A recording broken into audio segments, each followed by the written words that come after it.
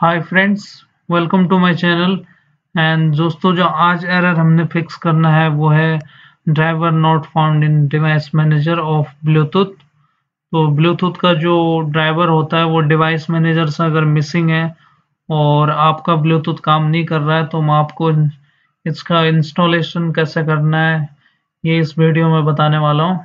सबसे पहले दोस्तों, इसके लिए डिवाइस मैनेजर में जाना है। यहाँ पर टाइप करना है डिवाइस मैनेजर यहाँ पर ऑप्शन आ जाएगा डिवाइस मैनेजर पर इस पर क्लिक करना है और यहाँ पर आप देख सकते हैं, मेरा ब्लूटूथ का ड्राइवर है। अगर आपके सिस्टम में नहीं है तो मैं आपको बताऊँगा आपको इसको कैसे ऐड करना है। ये यहाँ पर होना चाहिए, तभी आपका ब्लूटूथ काम करेगा। तो इसके लिए एक्शन में जाना दोस्तों में कई बार ये ऑटोमेटिक डिसेबल हो जाता है तो उसके लिए आपको स्कैन फॉर हार्डवेयर चेंजेस कर लेने अगर इस स्टेप को करने के बाद भी ये इस, ये वापस नहीं आता है यहाँ पर ड्राइवर तो हमें एक्शन में जाना है और एड लेगेसी हार्डवेयर इसको सिलेक्ट कर लेना है। उसके बाद नेक्स्ट को सिलेक्ट कर लेना है। उसके बाद ये वाला ऑप्शन है।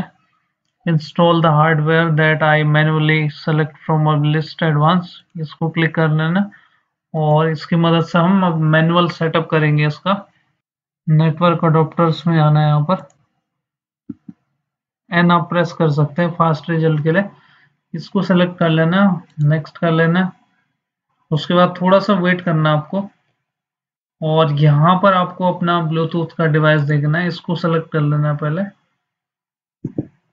और बहुत से सिस्टम में ये ड्राइवर आएगा नहीं तो ये वाला जो इशू है, वो सॉल्व नहीं हो पाएगा। लेकिन अगर आपके सिस्टम में ब्लूटूथ का डिवाइस आ जाता है तो आप यहीं से उसको मैनुअली आप इंस्टॉल कर सकते हैं।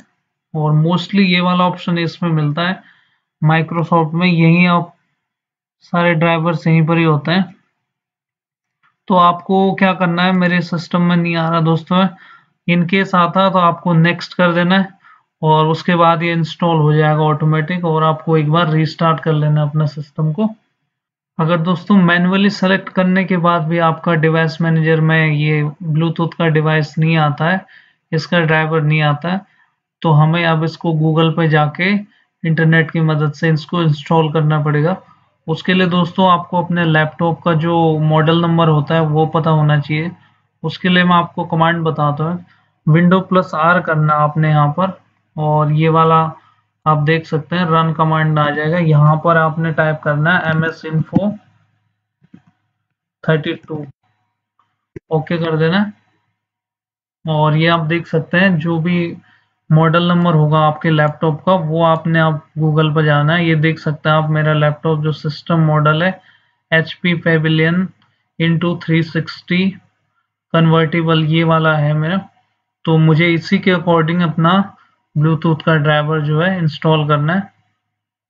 तो यहाँ पर जाऊँगा मैं सबसे पहले गूगल पे। और यहाँ पर मैं डालूँगा दोस्तों एच पी HP पेविलियन 360 उसके बाद दोबारा देख लेते हैं। कन्वर्टिबल कन्वर्टिबल आ गया, देख सकते हैं आप। अब यहाँ पर डालूँगा मैं ब्लूटूथ ड्राइवर आप देख सकते हैं। और एंटर कर दूँगा। उसके बाद दोस्तों, जो ऑफिशियल साइट होती है, वहाँ पर जाना आपको। तो आप देख सकते हैं एचपी की ये ऑफिशियल साइट है यहाँ पर। यहाँ पर आप देख सकते हैं सॉफ्टवेयर एंड ट्रैवल डाउनलोड यहाँ पर क्लिक कर लेना हमें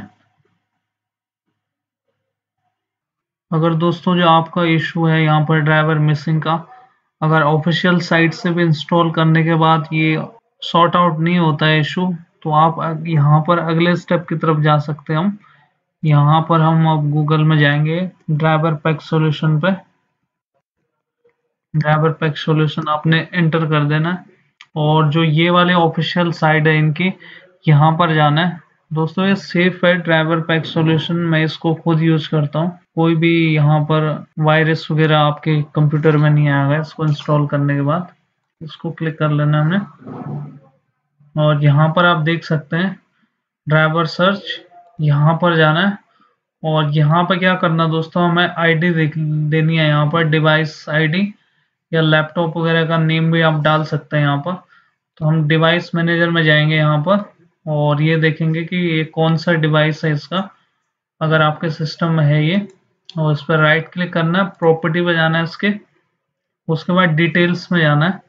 उसके बाद यहाँ पर जो डिवाइस डिस्क्रिप्शन है, यहाँ पर हार्डवेयर आईडी इस पे जाना है। और इसको कॉपी कर लेना सबसे ऊपर वाले को, इसको। और वो यहाँ पर हमने कॉपी पेस्ट कर देना है। और ये आप देख सकते हैं मेरा ये ड्राइवर एग्जैक्ट इसको मैं इंस्टेंटली ड्राइवर ऑटोमेटिक डाउनलोड कर लेता हूँ उसको और यहाँ पर आप देख सकते हैं इसका प्रोग्रेस जो है डाउनलोड हो चुका है। इसको शो इन फोल्डर करेंगे दोस्तों हम। इसकी लोकेशन हमें पता लग जाएगी यहाँ पर। शो इन फोल्डर ये आप देख सकते हैं इसके लोकेशन इसको कॉपी कर लेंगे दोस्तों। और इसको डेस्कटॉप पे पेस्ट कर देंगे हम। इसका जो सेटअप है। ये आप देख सकते हैं इसका सेटअप अब इसको हमने रन करना है डबल क्लिक करके। और ये ड्राइवर इंस्टॉलेशन होने के बाद आपको रीस्टार्ट करना अपना पीसी और डिवाइस मैनेजर में चेक करना है कि ड्राइवर जो है आया या नहीं आया। मोस्टली दोस्तों ये आ जाता है यहाँ पर driver so thanks for watching our channel उम्मीद है दोस्तों आपका इशू सॉल्व हो गया होगा। तो लाइक सब्सक्राइब एंड शेयर